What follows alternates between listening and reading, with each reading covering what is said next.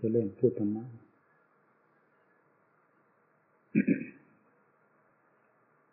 งานเวลานี้ประชาชนเที่ยวแสวงบุญกันมาก เพราะอยู่ในช่วงระยะเวลาราชการดิเข้าพรรษาพระก่อน ไม่ได้ไปไหนมาไหนหากไม่จำเป็นจริงๆก็ต้องอยู่ค้างที่นี่จนกระทั่งครบไตรมาสสามเดือน ในเวลาที่อยู่ไม่ได้ไปไหนมาไหน เป็นโอกาสที่จะได้ประกอบความภาคเพียรไม่เหมือนอย่างคารวะซึ่งมีกิจบ้านการเรียนมากมายรู้สึก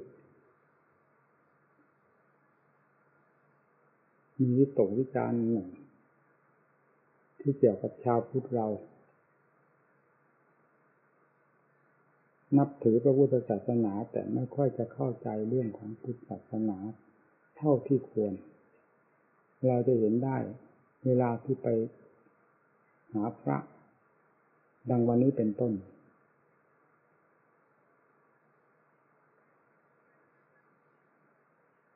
เอานั้นนะ เสกเอานี้ให้เป่ายุ่งไปหมดศาสนาเลยกลายเป็นศาสนาเสกเป่าไปแต่เวลาถามถึงพระองค์นั้นดีอะไรดีทางไหนวะองค์นั้นดีทางไหนองค์นี้ดีทางไหนจึงล้วนแล้วตั้งแต่นอกรีดนอกรอยของพระศาสนาทั้งนั้นไม่ใช่หลักของศาสนาอันแท้จริง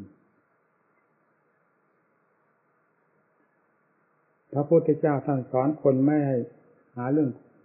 เครื่องรางของขลังอย่างนั้น ให้ขลังอยู่ภายในตัวเอง ด้วยอำนาจแห่งการประพฤติดีปฏิบัติชอบ ความศักดิ์สิทธิ์ความดีความดีก็เกิดขึ้นจากการทำดี ภายในตัวเองนี่เท่านั้นเสกเป่าอย่างนี้ผิดเสกอาหารอะไรนี่ส่วนมาก เป็นอย่างนั้น ถ้าเราไม่ทำให้ก็เป็นอีกอย่างหนึ่งในหัวใจ แทนที่จะเป็นกุศลกลับกลายเป็นโทษขึ้นมาแต่ตัวเองไปหาอาจารย์นั่นท่านยังทำมาหาอาจารย์นี่ทำไมไม่ทำนะผิดสองชั้นสามชั้นไปไปหาอาจารย์นั่นมันก็ผิดแล้วมาหาอาจารย์นี่ก็ผิดอีกศาสนาไม่ได้สอนคนผิดทำไมจึงต้องไปผิดเช่นนั้น ก็เพราะความเข้าใจของคนผิด กับหลักศาสนานั่นแหละ จึงปรากฏเช่นนั้นขึ้นมา พยายามทำตัวของเราให้ดีเถอะ ความดีจะอยู่ที่นี่ไม่อยู่ที่อื่น พระพุทธเจ้าท่านก็ดีขึ้นจากการปฏิบัติของพระองค์เองแม้สาวกจำนวนมากเพียงไรก็ตาม ท่านเอาของดีจากการปฏิบัติดีของท่าน ที่จะเห็นได้ชัดเจนภายในใจในทิฏฐธรรม ก็คือจิตภาวนา เป็นงานสำคัญมากทางพุทธศาสนา ที่ผู้อยากจะทราบเรื่องราวของสิ่งต่างๆ ที่พระพุทธเจ้าทรง สั่งสอนไว้เช่นนรกสวรรค์เป็นต้นหรือบาปบุญเป็นต้น เพราะสิ่งเหล่านี้ ไม่พ้นจากจิตที่จะเป็นผู้สัมผัสสัมพันธ์รับทราบทราบไปจากจิต มีอยู่ที่จิต ก็มีทราบไปจากจิตก็มีเฉพาะอย่างยิ่งดังที่เทศแล้วเมื่อคืนนี้ เรื่องตายตายเกิดตายสูญนี่ทำไมไปสงสัยกันมากมายต่อก่อน บางรายถึงกับปักจิตลงไป ดิ่งเลยถอนตัวไม่ขึ้น ว่าตายแล้วสูญเป็นความสำคัญทั้งดุ่นทีเดียวไม่มีทำเข้าแทรกได้เลยยังเป็นผู้เสาะแสวงหาเพื่อจะทราบความจริงอย่างนี้อยู่ก็ยังดี ที่เป็นความปักใจลงไป โดยไม่ยอมฟังเสียงใครเลยนั้น ก็เรียกว่าโรคนี้อาการหนักหมอยาไม่สามารถแล้ว เพราะไม่สนใจกับหมอกับยาไม่มีทางแก้ อันนี้เราจะทราบได้อย่างไรนี่หลักใหญ่จะไม่พ้นไปจากจิตตภาวนาเลยใครจะสงสัยขนาดไหนก็ตาม ถ้าตั้งใจปฏิบัติตามหลักศาสนธรรมที่สอนไว้โดยถูกต้องนี้แล้ว จะเข้าสู่จุดดังกล่าวนี้ โดยไม่สงสัย ราะจิตเต็มไปด้วยความมัวหมองเต็มไปด้วยความมืดดำจะหาความสว่างกระจ่างแจ้งให้เห็นของจริงได้อย่างไร ขยับตัวออกนิดก็เป็นเรื่องของปลอมขยับตัวแม้จะไม่ขยับ อยู่โดยปกติของจิต ธรรมชาตินี้ก็หมักหมมอยู่ภายในมันก็เหมือนนักโทษ นอนอยู่ก็เรียกนักโทษ ยืนอยู่ก็เรียกนักโทษ นั่งอยู่ก็เรียกนักโทษทำหน้าที่การงานอยู่ก็เรียกนักโทษทำงานนะอะไรๆเป็นนักโทษไปหมด นี่จิตนี้กำลังเป็นเช่นนั้น ยังไม่มีคุณค่า พอจะพิสูจน์ตนได้อย่างชัดเจน และพิสูจน์สิ่งที่เกี่ยวข้องกับตนได้อย่างแจ้งชัด จึงจำเป็นต้องเกี่ยวข้อง หรืออยู่ใต้อำนาจของสิ่งเหล่านี้ผลักดันไป เมื่อได้อบรมทางด้านจิตภาวนา ใจที่เคยพุ่งเพ้อเห่อเหิมยึกพุ่งสร้างลำคาญอะไรก็แล้วแต่ตามนิสัยของใจที่มีสิ่งก่อกวนอยู่ภายในตน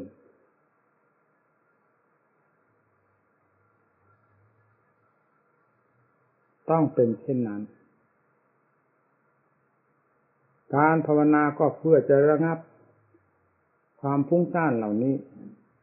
จึงต้องอาศัยทำบทใดบุญเป็นเครื่องยึดของจิตเช่นท่านสอนให้ภาวนาพุทโธหรืออนาปานสติเป็นต้นทำทั้งสองประเภทนี้คือเครื่องยึดของใจ เพื่อเป็นอารมณ์ของใจ ใจที่ได้กำหนดอยู่ในอารมณ์อันเดียว มีพุทโธเป็นต้นไม่ให้ส่งไปสู่ที่อื่น แล้วจะรวมกระแสของตัวเข้ามาสู่จุดนั้นปรากฏเป็นความสงบเย็นใจลงไป ผลสุดท้ายเมื่อสงบพึ่งตัวเองได้แล้วคำว่าพุทโธก็หมดความหมายไปเอง จะซึมซาบเข้าสู่ความรู้ ที่รวมตัวแล้วนั้นทงตัวได้ คำว่าพุทโธก็หายไปในขณะนั้น นี่คือจิตสงบ พอจิตเริ่มสงบ ให้เห็นประจักษ์ภายในตัว เราก็ทราบ เราก็เริ่มทราบ โทษแห่งความฟุ้งซ่านของใจ จึงต้องพยายามทำจิตให้มีความสงบขึ้นเรื่อยๆ จนกระทั่งมีความสงบ เต็มที่ ก็เห็นโทษแห่งความคิดวุ่นวายต่างๆ เต็มที่เหมือนกันนี่เราจะพิสูจน์เรื่องการถึงเราจะไม่พูดว่าเราพิสูจน์เรื่องนี้ก็ตาม แต่จะเข้าสู่จุดนี้ เพราะสิ่งที่เราพิจารณาหรือเพราะทำอยู่นี้ มันเกี่ยวโยงกันกับเรื่องที่ว่าตายแล้วเกิดตายแล้วสูญซึ่งมีอยู่ภายในจิตใจดวงเดียวกัน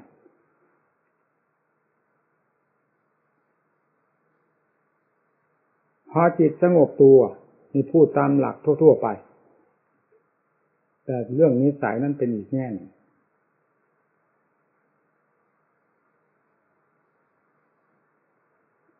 พอจิตสงบตัว เรียกว่าจิตรวมตัว เข้าสู่ความรู้อันเป็นหลักเดิมของจิต อาการของจิตคือความคิดนั้นส่งนี้ แล้วรวมเข้าไปสู่จุดนั้น เป็นความรู้อันหนึ่งขึ้นมา อย่างเด่นชัดภายในจิตใจ เพียงเท่านั้นเราก็พอทราบได้ว่า เวลานี้จิตไม่ได้สืบต่อกับเรื่องอะไร เป็นความพักสงบตัวหน้าที่การงานของจิตก็คือความปรุงคิดในแง่ต่างๆ ระงับไปหมดในขณะนี้นี่เราก็พอทราบได้ความระงับกับความขาด จากอารมณ์ของจิตนั้นผิดกันต้องอาศัยการภาวนาเพื่อความระงับก่อนเมื่อจิตก้าวเข้าสู่ความสงบระงับอารมณ์ทั้งหลายได้ จิตจะมีความผาสุกเย็นใจภายในตัว จากนั้นท่านก็สอนปัญญา ปัญญานี่สำคัญมาก ทีนี้จะเข้าตัดฟันสิ่งเกี่ยวข้อง เช่นเดียวกับกิ่งไม้ เราต้องการไม้ไผ่ลำนี้ มันเกี่ยวข้องอยู่กับแขนงใดบ้าง แล้วตัดแขนงนั้นออกแขนงนี้ออก แล้วมันก็ขาดตกลงไป อาการของจิตมันเกี่ยวข้องกับเรื่องอะไร เมื่อจิตสงบแล้ว พอทราบได้ ปัญญาสอดแทรกไปตามอาการต่างอย่างที่ท่านสอนเจสาโลมานขาทันตาตะโตเป็นต้น ให้ถืออันนี้เป็นงานของของจิต พิจารณาไปโดยลำดับ หรือจะพิจารณาในส่วนใดส่วนหนึ่ง ก็สามารถที่จะกระจายไปในอาการทั้งหลายได้มีก็ตามจริตนิสัย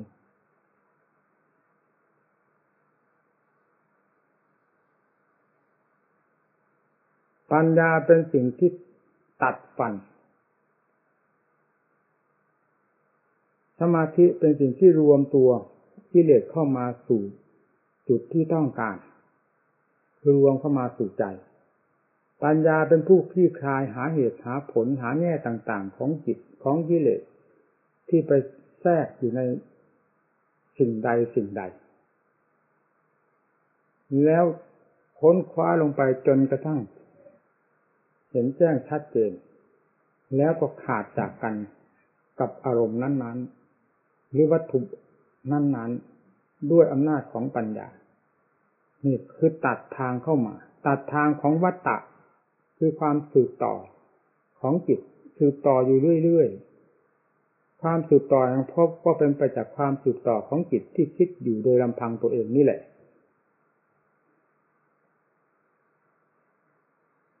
เมื่อสติปัญญามีความแก้วกล้าสามารถ โดยลำดับ ก็ตัดอารมณ์ที่มาเกี่ยวข้องกับจิต ให้เป็นตัวอุปทานขึ้นมานั้น ออกได้โดยลำดับลำดับ รูปหมายถึงรูปกายของเรา รูปนอกหมายถึงรูปรูปเสียงกลิ่นรสเครื่องสัมผัสต่างๆท่านเรียกว่าอายตนะภายนอกายตนะภายในได้แก่ตาหูจมูกลิ้นกาย เมื่อทั้งสองอย่างนี้เข้าไปสัมผัสสัมพันธ์กันจะเกิดอารมณ์ใดอารมณ์หนึ่งขึ้นมา ตามความสัมผัสนั้น ๆ แล้วให้เกิดความดีใจเสียใจรักบ้างชังบ้าง เหล่านี้เป็นเรื่องของกิเลสแสดงตัว ปัญญาคอยพิจารณาคอยตามต้อนกันอยู่เรื่อยๆก็สามารถที่จะทราบชัดในความเกี่ยวโยงของจิตกับอารมณ์นั้นๆ แล้วตัดขาดกันได้เป็นระยะระยะนี่เรียกว่าปัญญา ปัญญาเป็นผู้ถอดถอนกิเลสสมาธิเป็นผู้จับกิเลสเข้ามามัดหรือรวมตัวหรือเรียกว่าเข้ามาสู่ที่ฆ่า ปัญญาเป็นผู้ฆ่า ปัญปัญญาเป็นผู้ตัดฟันจิตขาด จากสิ่งภายนอกก็ทราบด้วยอำนาจของปัญญา สิ่งภายนอกคือได้แก่อายตนะภายนอกนั่นแหละ รูปเสียงกลิ่นรสเครื่องสัมผัสขาดจากกัน กับใจ ใจไม่สืบต่อ ใจไม่ซึมทราบแม้ตาจะกระทบก็สักแต่รู้แต่เห็นแต่ได้ยิน ไม่ยึดมั่นถือมั่นกับสิ่งนั้น เพราะได้พิจารณาอย่างถ่องแท้และตัดขาดจากกันไปแล้วด้วยปัญญา นี่คือการตัดทางวัตวัตจักรซึ่งมีอยู่ภายในจิตใจของตัวเอง จนกระทั่งสามารถพิจารณาธาตุขันรูปกายของตนได้อย่างชัดเจน และถอนภายในนี้อีกเวทนาคือความสุขความทุกข์เฉยๆมีอยู่ทั้งส่วนร่างกายและจิตใจ ก็ใช้ปัญญาพิจารณาสอดแทรกไปโดยลำดับลำดา จนรู้ตลอดทั่วถึง ในเวทนาทั้งสามคือสุขทุกข์เฉยๆซึ่งมีอยู่ในส่วนร่างกายนี้ก็ขาดจากกัน แม้จะเกิดขึ้นก็ทราบว่าเกิดขึ้น แต่ไม่ซึมทราบถึงจิต เหมือนแต่ก่อนที่ปัญญายังตัดไม่ขาดนี่สัญญาความจำได้หมายรู้สังขารความคิดความปรุงวิญญาณความรับทราบ ซึ่งมีลักษณะเช่นเดียวกันนี้ ก็พิจารณาไปในยะอันเดียวกัน จนเป็นที่เข้าใจ ด้วยปัญญาเหมือนกัน นี่ค่อยขาดไปเรียนแบบแล้วอาการดังกล่าวนี้ที่เรียกว่าขันเนี่ย ก็ขาดจากใจคำว่าขาดจากใจนั้น ในหลักธรรมชาติของใจต้องเป็นผู้รับผิดชอบในร่างกาย เมื่อรับผิดชอบในร่างกายก็ต้องรับผิดชอบในขัน คือรับผิดชอบในกองรูปคือกายของตนเวทนาสัญญาสังขารวิญญาณ ก็ต้องถือเป็นตนหมด ถือว่าเรา เป็นหรือว่าของเราทีนี้ว่าแยกจากกันไปแล้ว สิ่งเหล่านี้ที่เคยถือว่าเป็นเราเป็นของเรา มันก็หมดความหมายไป เพราะทราบชัดจะถือว่าเราได้อย่างไรปัญญาบอกชัดๆขาดนี่นี่วิธีพิสูจน์เรื่องตายเกิดตายสูญเกิดหรือไม่ เกิดได้เพราะเหตุไรเราจะทราบได้จากจิต ซึ่งเป็นตัวเกิด เป็นตัวทำงานเรื่องเกิดเรื่องตายด้วยปัญญาของเราเอง วิธีอื่นไม่มีทางที่จะทราบความจริงเหล่านี้ได้ นอกจากจิตตภาวนานี้เท่านั้น ซึ่งพระพุทธเจ้าทรงรับรองมาแล้ว เพราะได้ทรงเห็นผลมาแล้วด้วยประจักษ์พระไถ่นี่ตัดเข้าไปเป็นตอนตอน การพิสูจน์เรื่องตายเกิดตายสูญท่านพิสูจน์อย่างนี้ พิสูจน์ด้วยหลักปฏิบัติ ตามความเคลื่อนไหวของจิต ความยึดของจิตงานของจิตมันเป็นอย่างไร ตามด้วยปัญญาแต่ก่อนมันตามกันไปด้วยความรุ่มหลง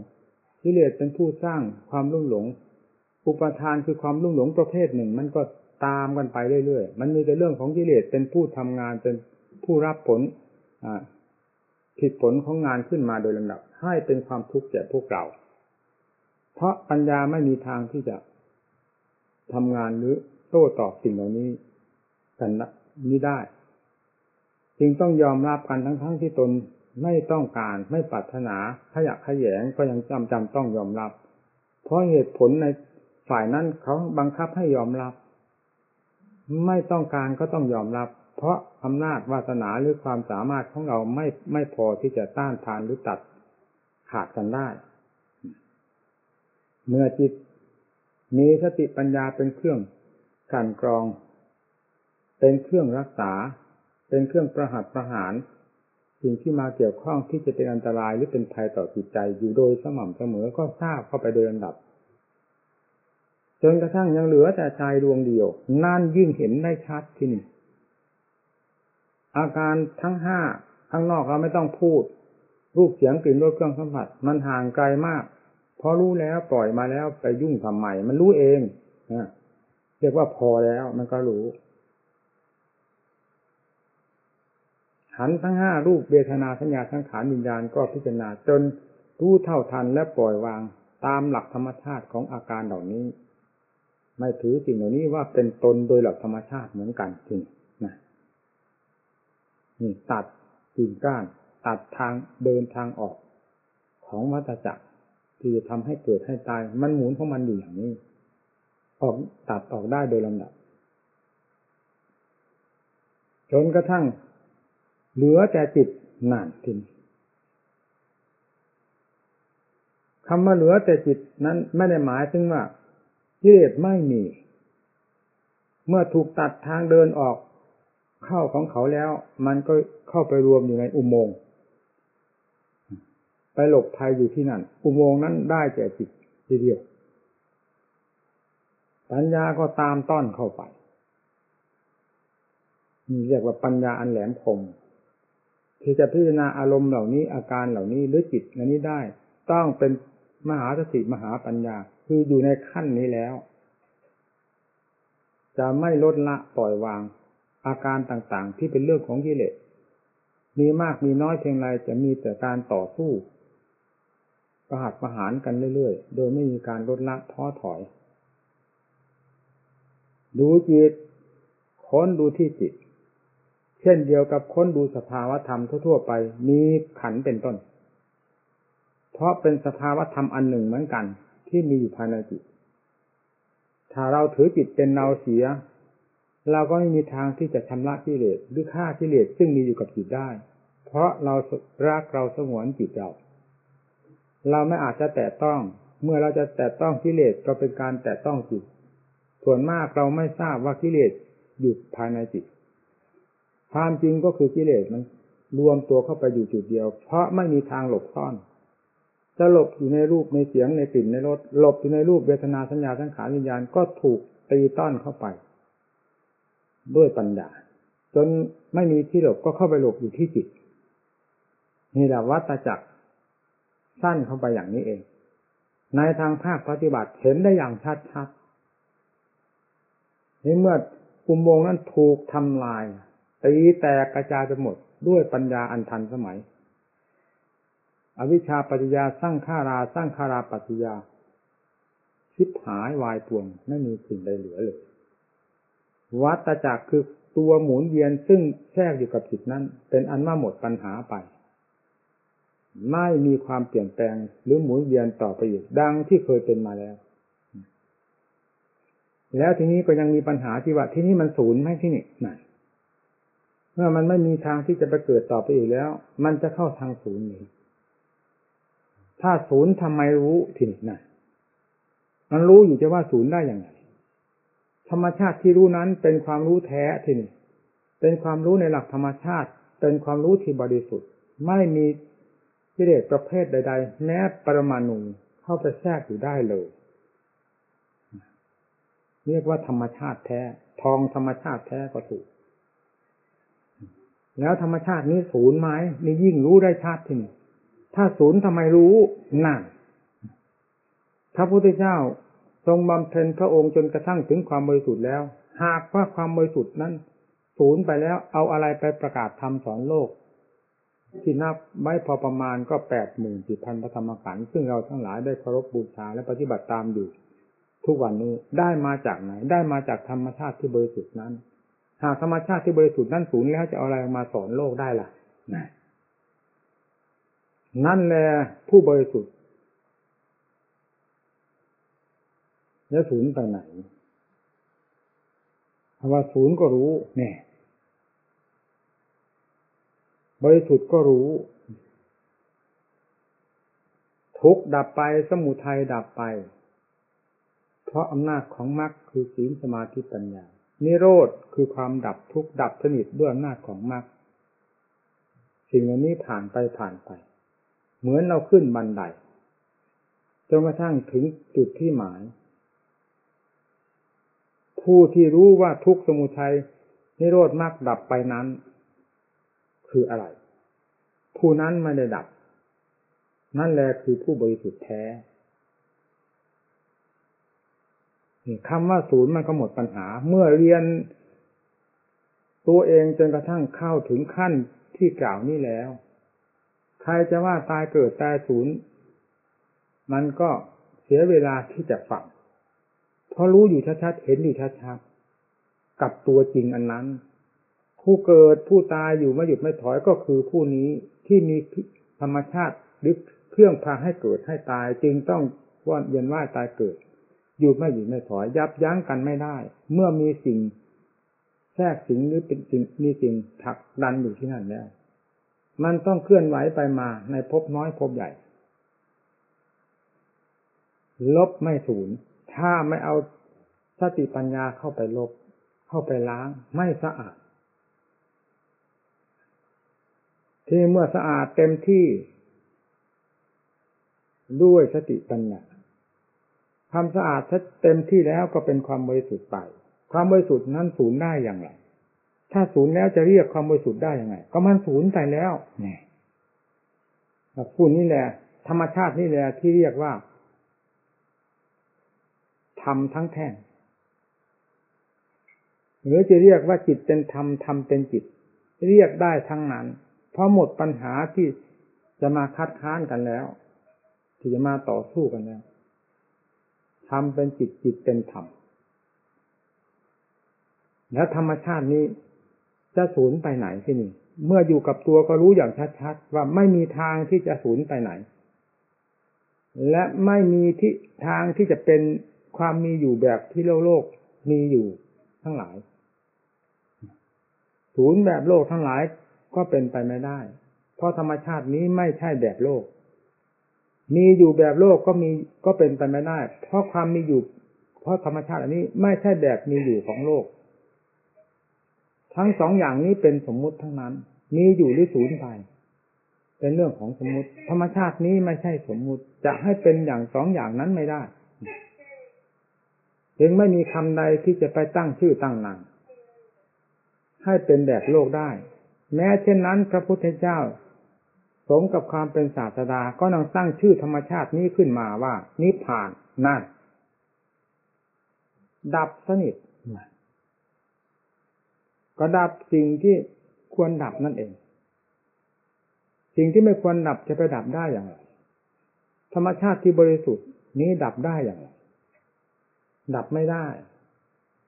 นี่แหละท่านเรียกว่านิพพาน ไม่ใช่จะ นิพพานมีทางยาวไปประมาณเท่านั้นไมล์เท่านี้กิโลนะความกว้างของพระนิพพานวัดผ่าศูนย์กลางแล้วได้เท่านั้นเท่านี้ความลึกความตื้นของนิพพานเป็นนี้นั่นแหละคือบ่อแห่งวัตตะถ้าเป็นแบบนั้นก็คือแบบวัตตะนั้นอยู่ดีๆนั่นแหละ ไม่ใช่แบบพระนิพพานของพระพุทธเจ้าถ้าแบบนิพพานของพระพุทธเจ้าแล้วเป็นอย่างเดียวเท่านั้น คือบริสุทธิ์ พูดได้แต่ความบริสุทธิ์หรือจะว่านิพพานก็ให้ต้องหมายเอาธรรมชาตินั้นเลยทีเดียวจะไปหมายเอาความกว้างแคบลึกตื้นหยาบละเอียดอย่างไรไม่ได้ เพราะเป็นเรื่องของสมมติทั้งปวงซึ่งเข้ากับธรรมชาตินี้ที่ไม่ใช่สมมุติไม่ได้นี่วิธีพิสูจน์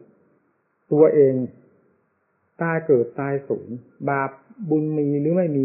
เมื่อเข้าถึงนี้แล้วทราบเองหมด ไม่มีอันใดที่จะค้านพระพุทธเจ้าได้เพราะธรรมชาตินี้ก็เป็นความจริงรู้จริง พระพุทธเจ้าก็สอน เพราะความรู้จริงเห็นจริงแล้วจึงนำมาสอนแบบนี้แล้วจะเอาอะไรไปค้านพระพุทธเจ้า ถ้าค้านตัวเองไม่ได้ก็ค้านพระพุทธเจ้าไม่ได้ เมื่อยอมรับความจริงอันนี้กับตัวเองก็ยอมรับความจริงของพระพุทธเจ้า เรื่องก็เท่ากัน เหมือนกัน อยู่ที่ไหนก็ไม่มีปัญหาว่าได้กราบได้ห่างเหินพระพุทธเจ้า แม้จะปรินิพานนานไปตั้งสองพันห้าร้อยกว่าปีก็ตาม นั่นเป็นเพียงการสถานที่ร่ำเวลา ไม่ใช่เป็นหลักธรรมชาติอันเป็นความจริง แห่งพุทธะอันแท้จริงนั่นเลย พุทธะอันแท้จริงนั้น ก็คือใจที่บริสุทธิ์ ผู้ใดถึงขั้นบริสุทธิ์แล้ว ผู้นั้นก็ชื่อว่าเป็นผู้ถึงสถาคตโดยหลักธรรมชาติ อยู่ที่ไหนก็ ไม่ได้ห่างเหินจากพระสถาคตพระองค์จะปรินิพานนานเป็นเท่าไหร่ก็เป็นเพียงการสถานที่ อันนี้ไม่มีการไม่มีสถานที่ เรียกว่าอาการลิกธรรมปราศจากการปราศจากสถานที่แต่พูดถึงแบบสมมุติอย่างโลกอยู่ที่ไหนก็กราบพระพุทธเจ้าตลอดเวลาเฝ้าพระเจ้าตลอดเวลามีปัญหาอะไรเนี่ยนะ ผู้เข้าถึงธรรมคือผู้เข้าถึงตถาคต ผู้เห็นธรรมคือผู้เห็นตถาคต หมายอันนี้เองไม่ใช่หมายถึงรูปร่าง อันนั้นเป็นเดือนร่างของพุทธะที่บริสุทธิ์นี้ต่างหาก